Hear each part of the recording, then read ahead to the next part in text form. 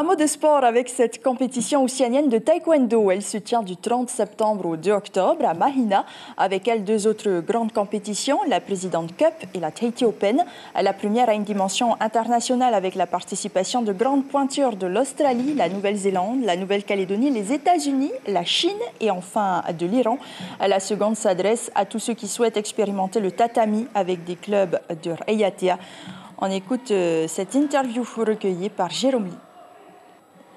Le premier jour, euh, la Prison Cup euh, permettra à nos jeunes et aux athlètes étrangers de récupérer, de gagner des points. La deuxième journée, nous allons passer aux Océaniens Taekwondo. Nous allons pouvoir entrer à cette compétition grâce aux meilleurs athlètes de la, de la journée. Dans la troisième journée, la compétition populaire, puisque tous les athlètes de Polynésie, c'est-à-dire les ceintures de couleur, pourront y participer.